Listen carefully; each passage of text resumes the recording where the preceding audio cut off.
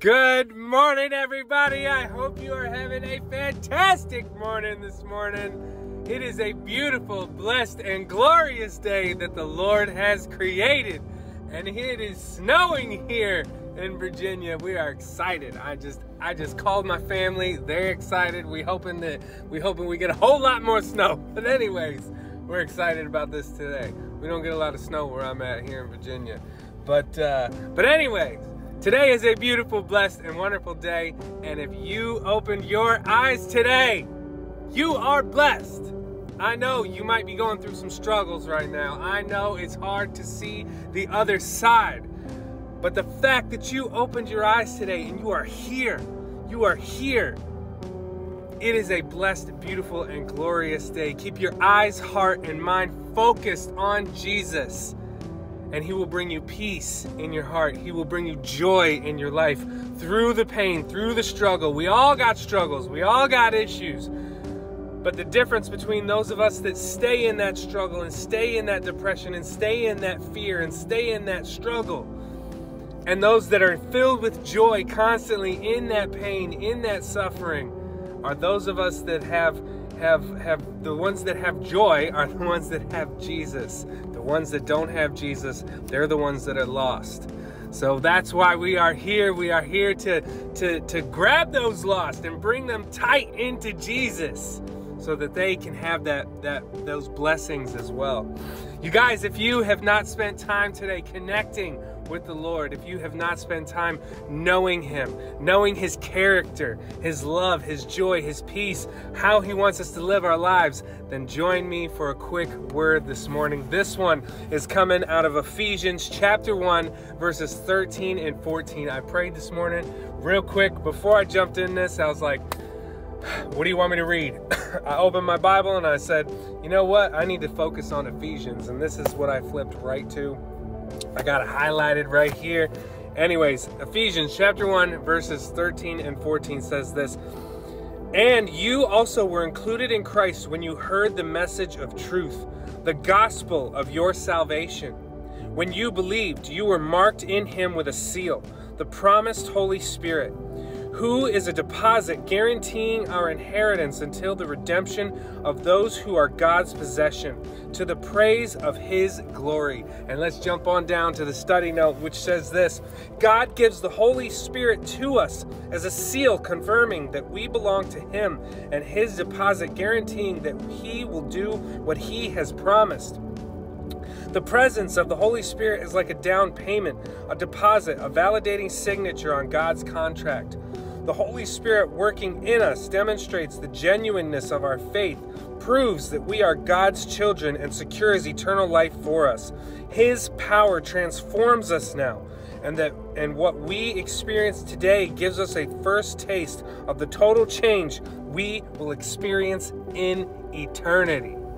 Now, how you might be asking, how do I get the Holy Spirit?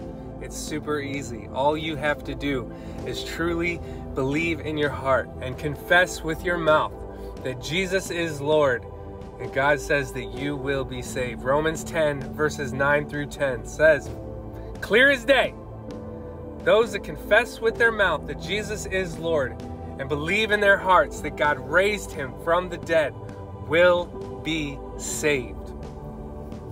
That's it. That's all you got to do. It's so easy. And you would think don't you would think people people tend to complicate this. People tend to complicate this.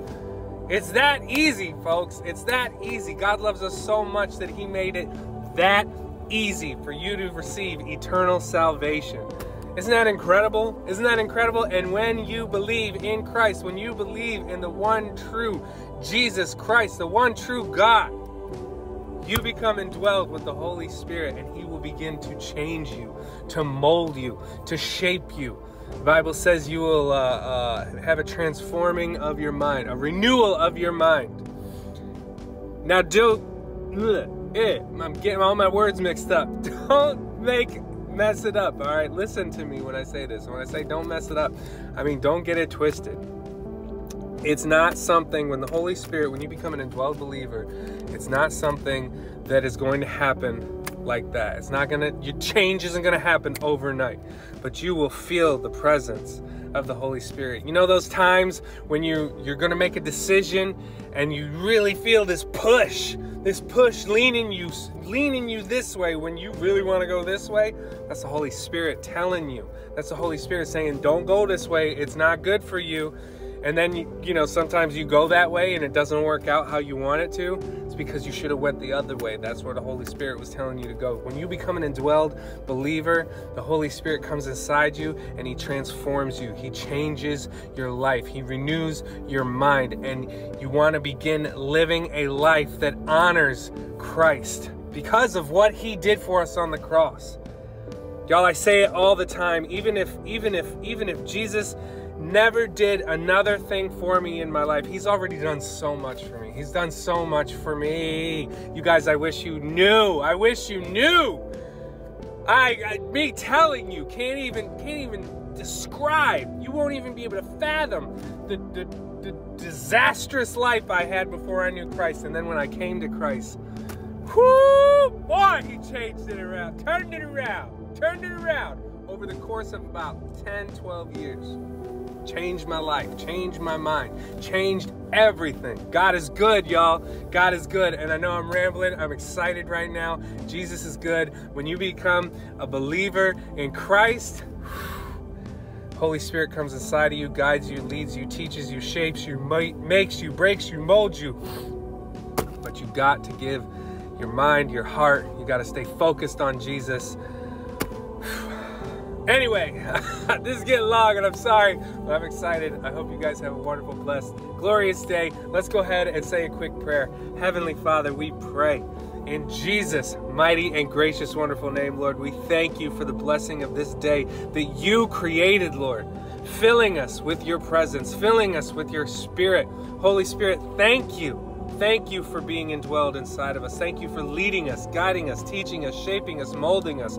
Lord, help us to know, love, and serve you every single day and let your light shine in us and through us so that those that may not know you can know you and experience that joy, experience that light, and more importantly, experience you because you, Lord, you, Jesus, are amazing. You are perfect. You are wonderful. You are free. You are you are joy. You are peace. You are everything, Lord. Thank you for this day. Thank you for every day. Thank you for this life. Is in Jesus' name we pray.